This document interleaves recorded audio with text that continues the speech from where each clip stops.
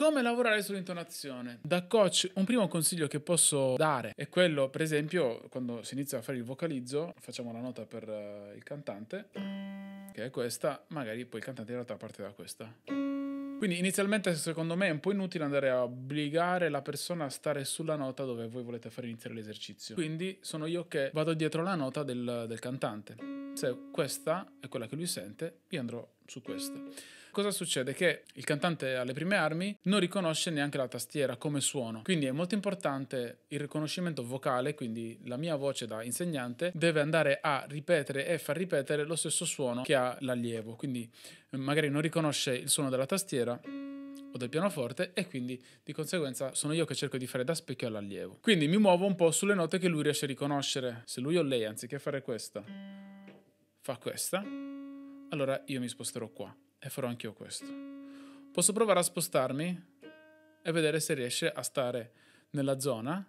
Se vedo che non ci riesce, che sta sempre in un'altra nota, allora mi sposto di conseguenza. Cerco di fare io le stesse note che fa lui col pianoforte. Così abbiamo un primo approccio di riconoscimento dello strumento sulla propria voce. Una seconda fase può essere quella di fare dei glissati, quindi è come se eh, cercassimo di accordare il cantante. Quindi se questa è la sua nota, mi muovo con delle sirene.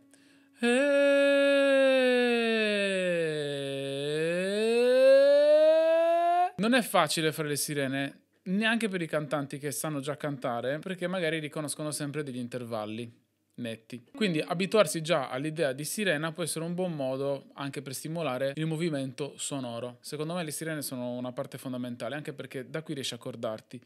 Devi andare qua, la tua voce normalmente da cantante eh, non intonato va qua. Se devo fare un salto di un tono, proverò ad accordarmi con la sirena.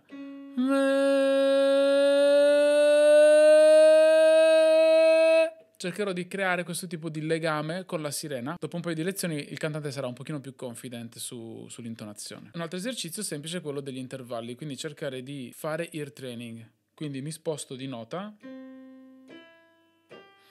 una volta che avrai familiarizzato, che avrà familiarizzato con la tastiera, ci si potrà muovere con gli intervalli e riconoscerli. Inizialmente forse è meglio fare Do, Re, Mi, Fa, Sol, però può essere anche Do, Mi, Sol, insomma intervalli di tre non troppo lontani, oppure gli intervalli di quinta.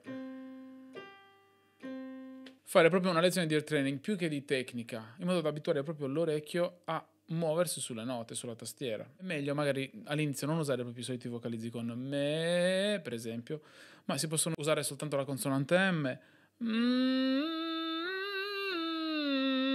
che aiuta già sull'intonazione senza doversi esporre vocalmente verso l'esterno, oppure delle sillabe semplici, papà, la la, la la la la la, pa, pa, pa, pa, pa, un attimino più sicure, più tranquille, anziché l'impostazione da vocalizzo. Ovviamente sull'intonazione c'è sempre un po' di lavoro da fare, è un lavoro impegnativo. I risultati li dà, dobbiamo avere solo molta pazienza e anche l'allievo deve avere pazienza, deve essere consapevole del fatto che c'è un lavoro da fare su quel tipo di calibrazione. Può essere un po' frustrante per l'allievo questo tipo di lavoro perché si chiede se è il caso che canti o meno. Io a questo tipo di domanda rispondo sempre che se ti piace cantare, se ti fa stare bene, ne vale sempre la pena. Anche se ti devi mettere un pochino sotto a studiare tecnica, vedrai che poi nel tempo qualcosa esce fuori di buono e di molto positivo. Allievi che hanno fatto dischi eh, da stonati sono diventati intonati e hanno fatto disco. Devono sempre tenersi in allenamento, magari, perché magari dopo un po' di inattività il cervello si rilassa nuovamente, però si può fare. Una cosa triste, mi è capitato di avere degli allievi, ma anche i genitori stessi degli allievi che mh, mi dicevano che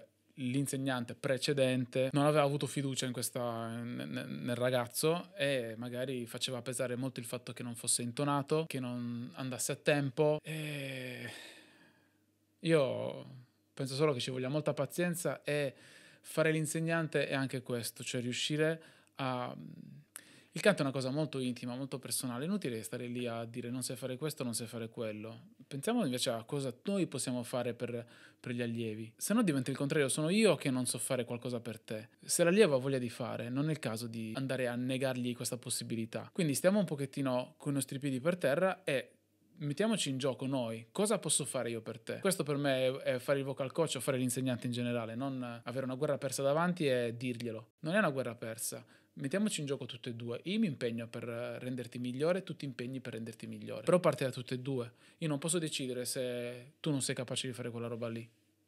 No,